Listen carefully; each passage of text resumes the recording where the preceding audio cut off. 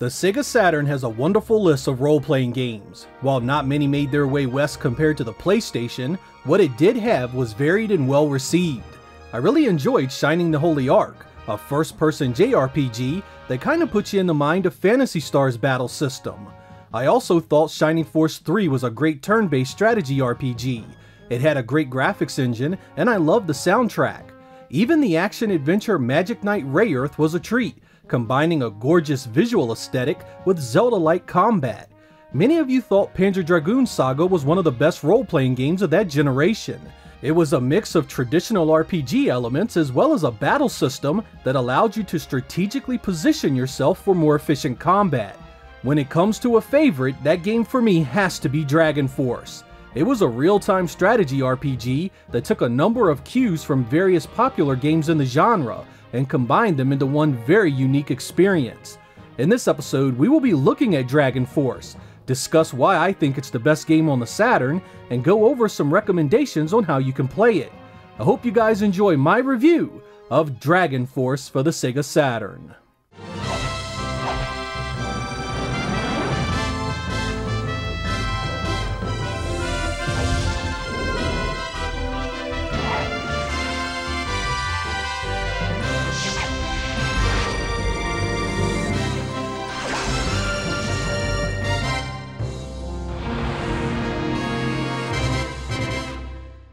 Development for Dragon Force began in 1994 by a small developer called J-Force. Much of its staff was made of former Wolf Team members, the developer responsible for Sega Genesis games like Granada and Sega CD games like Cobra Command. Things didn't go well, however. J-Force folded while the game was being made, and Sega brought the project in-house to be finished by Sega CS. It was directed by Tomoyuki Ito, who worked on Shinobi 3, the Clockwork Knight series, and eventually Skies of Arcadia. Much of the team from there was comprised of an elite crew that worked on everything from Daytona USA to Shenmue. I think it's important to understand the origins of this game to really appreciate the level of talent involved in its creation. When it was brought west, Working Designs took on the job of translating it for English markets. They added some shortcuts to the interface, cleaned up some repeated text, and of course it has the trademark sophomoric humor that dominates many of their translations.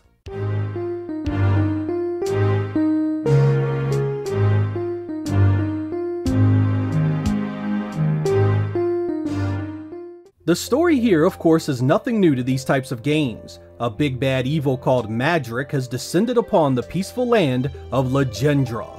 As Madrick wages war against its people, the goddess Ostia summons forth the great star dragon Harsgalt to defend Legendra. Along with his eight chosen warriors, they seal Madrick's evil away from the world. The game picks up 300 years later, just as the seal weakens and the Dark God's minions begin to work towards his revival.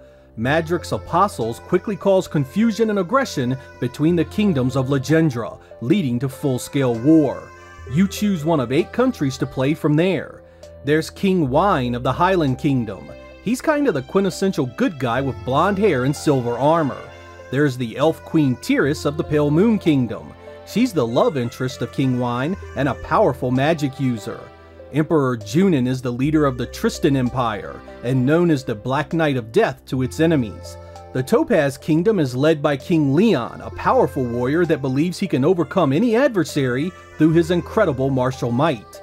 The Bozak Nation is led by Lord Gongos. This jungle region is inhabited by beastmen who are great at physical combat. Emperor Makal leads the Izumo Nation, a land of samurai and ninja with a great code of honor and self-sacrifice. The final two kingdoms only unlock after defeating the game once. You have King Reinhardt, the leader of Tradnor. He is the most potent magic user in the land and a descendant of the god Valhart. His entire nation is mainly magic wielders. Our final entry is the Emperor Goldark and the main human antagonist of the story. He seizes power from his brother and starts the war that consumes the continent. All these choices change the story a bit and have different details and special appearances by non-playable characters. The goal ultimately remains the same, however unite the Dragon Force and stop the rise of Madrick. Suddenly, the sacred dragon Harsgalt lunged forth to block Madruk's advance. Enraged, Madrak turned his fiery ardor to Harsgalt. The battle between the Holy Dragon and the Wicked God seemed to be without end. In its wake, the winds howled, the oceans crashed, and the vast land trembled violently. 1,000 days passed, and Harsgalt had only enough strength remaining to lock Madruk into a sleep that would keep just long enough for eight chosen heroes to be born. Now, that time is upon us. The final confrontation rushes forth. The gameplay of Dragon Force is at first nearly impossible to describe accurately. You almost have to see it in action to get any real sense of it. The truth is, there are not a lot of games even remotely similar to this. The only one that comes to mind is the Total War series on the PC, but even that's a hell of a stretch. After choosing your leader, you are thrust into a story that explains the continent is about to erupt into full-scale war nation against nation as the apostles of Madruk work to destroy mankind and revive the Dark God. Once you get past the story, you are greeted to the map screen. This is the entire land of Legendra, all of its kingdoms, castles, towns, and places of interest. You have the full run of the map at all times, can click on any castle or unit to see its generals and troops, and of course make any movements you deem appropriate. The only limiting factor is the timer imposed on the map screen you'll notice that in the upper right hand corner there is an hourglass that dictates this particular round of the map screen. But while you're on the map screen, you have an entire army to mobilize and a kingdom to protect. By clicking on one of your castles, you can see who is stationed there, you can resupply troops, and you can command units to move to another part of the map. Of course, in the beginning, you only have a handful of generals and castles, so you'll need to spread out a bit to gain new land and battle your closest enemies. You need to be very aware that while on the map screen, your foes are in constant motion and attacks can come out of nowhere. You'll need to shore up those weak areas in your defense and be sure not to leave your kingdom defenseless in your absence. Once you do engage in battle, it's army against army and general against general. Castles hold up to 10 generals and their armies, but mobile units can only hold up to 5. This means a well-defended castle can be quite difficult to overtake. At the start of the battle, you and your opponent trade taunts and then you have the opportunity to set your troops into formation. These formations are an assortment of offensive and defensive sets that allow you to better prepare for the situation at hand. There are 10 troop types from there. You get soldiers, cavalry, mage, samurai, archers, monks, harpy, beasts, dragons, and zombies. Each has their own strengths and weaknesses, and you'll need to consider that in each and every battle. Once your formation is chosen and the battle begins, your troops will follow your commands to attack the other army or the other general directly. Ultimately, the course of the battle is decided by which general falls first. Each of the generals has special moves, which is governed by a power meter and magic points. These special moves range from army-crushing magic attacks to the ability to replenish your troops. They can make a general extremely tough to beat. If the two sides should lose all their troops, it goes to a one-on-one battle between the generals until one of them falls. You do have the option to retreat if you feel it's a battle you can't win. Engaging the enemy gets you experience so you can level up your generals and make them tougher.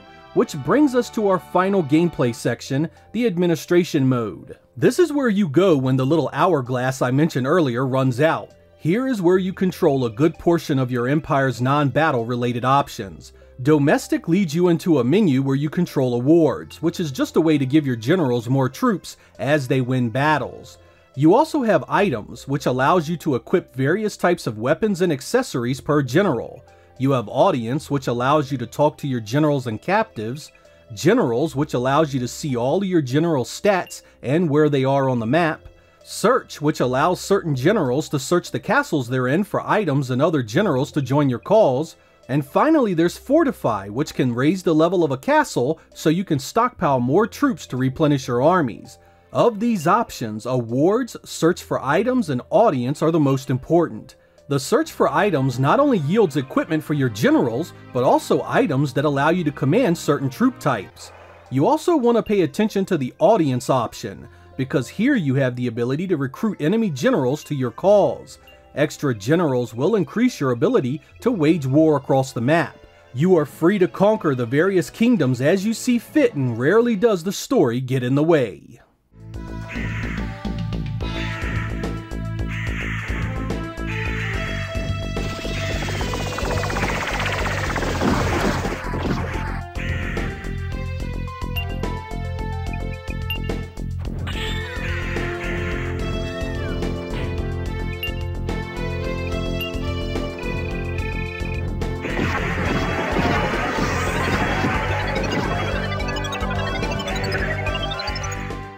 I adore the way this game looks. You guys know I appreciate 2D graphics and this engine employs just about every special effect you can imagine. It effortlessly scales both the troops and the playfield as you move around the screen. Special moves can put even more sprites into play, and certain magics can fill the entire screen with transparencies. When you consider the 100 versus 100 troop battles, the sheer amount going on is nothing short of impressive. At the time, you had never seen a game put that much on your TV without slowdown. It was built for the Saturn, it used the hardware in ways other games did not, and the end result was spectacular. VDP 1 and VDP 2 in perfect harmony. The art of Dragon Force is impressive as well. Troops, generals, battlefields, it all was hand-drawn goodness. Nothing digitized and nothing pre-rendered. It was exactly the kind of 2D that I think would have done well even in a brand new 3D world. Everything had depth, and it was so far above the stuff we saw on the Super Nintendo and Genesis, you couldn't help but be impressed. This remains one of the most visually impressive Saturn games to me. This engine gave me visions of platformers, beat 'em ups, and fighting games using similar effects. We actually saw some games using VDP2 in a similar manner, such as Thunder Force 5. I really wish more games had done so.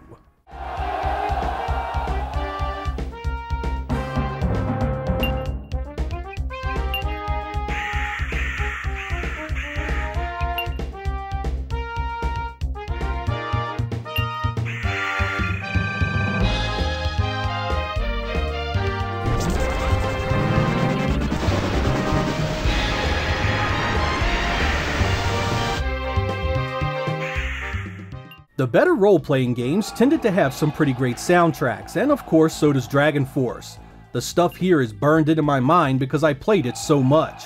Cool thing is, is that it's 100% machine-generated chip tunes. No Red Book audio here. I could go on and on about how much I enjoy it, but here are a few examples to help you better understand.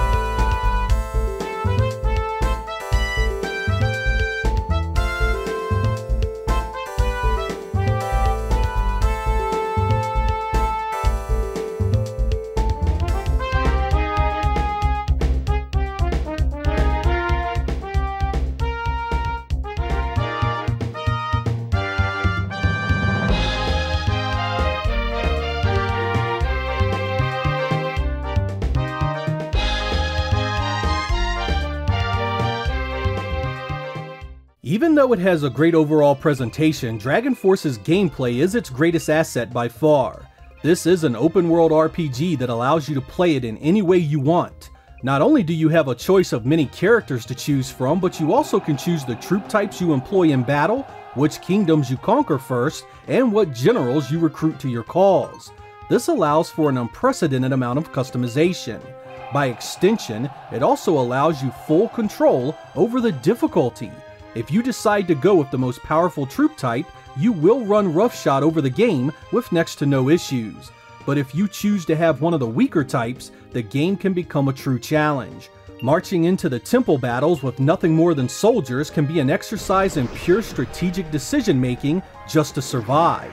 Whereas an army of dragons could basically just plow through a battle without worry, an army made of soldiers would need to be placed on the battlefield more carefully to be effective. And that right there is exactly what made this game so incredible. the ability to tune nearly every aspect of its gameplay into something you want it to do. Marching your squad of lovable characters across the map, slowly but surely crushing your foes and taking their land was an experience few games of that generation could ever hope to match. The previously mentioned graphics and sound were icing on the cake and just rounded out the entire package into something really special. Of course, no game is perfect, and Dragon Force does have a few areas that drag it down a bit. There are a few story triggered sequences that won't allow you to take certain areas early in the game. This is annoying and will sit you in a battle loop that forces you to retreat. There are also story sequences that will kick you out of certain castles, and if you have 10 generals in that castle, it will separate them into 10 armies, all of which have to be clicked and redirected. The final story sequence also forces you into the last battle once triggered. It spawns an endless wave of attacks that basically make it so you have no choice but to go meet the last enemy and end the game. In a game with such an incredible amount of freedom, this was a real letdown.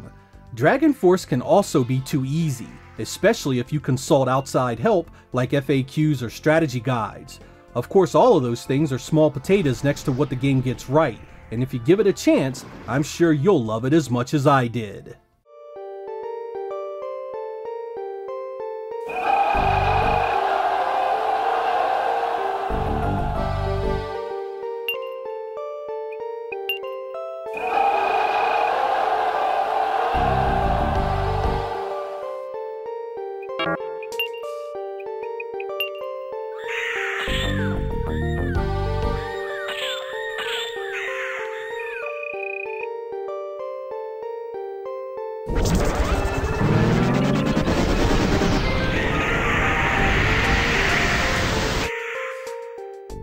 I don't usually do this in my reviews, but I wanted to take a moment and tell you a few points about Dragon Force that may help you enjoy it more. The internet has ruined this game for many people. Experienced players telling how to play, what strategies to employ, and where to get the best items, troops, and generals have had a profound effect on its game's playability. Self-discovery is an absolute must for this one. If you go looking for information on the castles that hold the dragon crest and pimp your entire army out with nothing but dragons, the difficulty of this game basically goes to nothing. You'll march the map clear in no time, crush the bad guy at the end, and your entire experience was lesser for it. There is also a strategy that came out many years ago that recommends you pause the game after your battles, redeploy your troops, and then crush the retreating enemy. This is an exploit and not how the game was meant to be played. If you want the most from Dragon Force, don't use it, because it again makes the game incredibly easy. Dragon Force is best played without knowing where everything is and by learning the ins and outs on your own. My first time through, I had no idea where the dragon troops could be gotten, nor did I realize you could basically capture every enemy the first try with the Pause exploit. I worked my way slowly across the map with the troops I already had or found by chance and fell in love with exactly how it was intended to be played. For you high level guys that know everything about Dragon Force already, try beating the game with nothing but your default troops. It really adds some much needed challenge and honestly makes for a better playing game on top of it. Those troop formations go from an afterthought to helping you survive, and you'll start paying much closer attention to things like terrain effect. It also makes the characters you choose at the beginning mean so much more. Some of the monarchs have troops you succeed with easily, while others have troops you'll fight tooth and nail for every victory. When I say the challenge of Dragon Force is directly controlled by you, I mean it, and how you choose to approach this one makes one heck of a difference.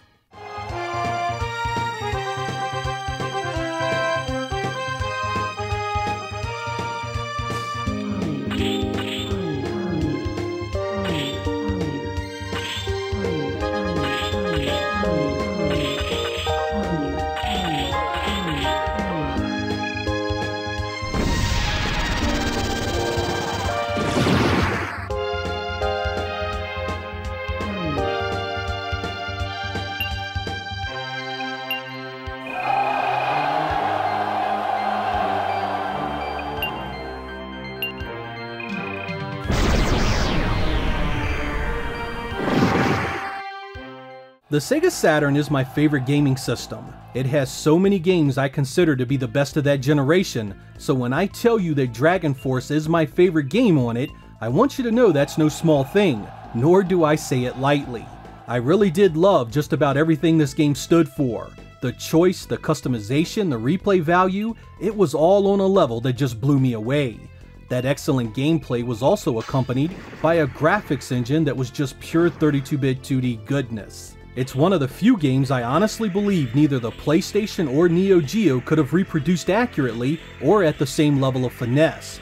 200 troops, 2 generals, full screen magic attacks, transparencies, smooth full screen scaling. I mean, this is the kind of 2D graphics that looked so good it easily stood toe to toe with any of that newfangled polygon stuff because no home system had previously been capable of it.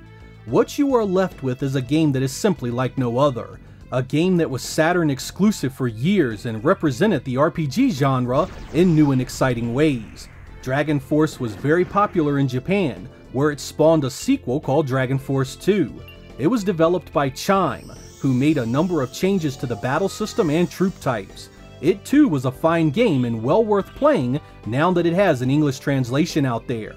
I still prefer the first Dragon Force however, and I think if you go into it willing to tackle the game on your own terms and at your own pace, you will find a game very much worth your time. Even if it doesn't end up being your very favorite Saturn game, I think many of you will still agree it definitely made the Saturn library a lot more enjoyable. I'm Sega Lord X, thank you guys for watching, and I will catch you next time.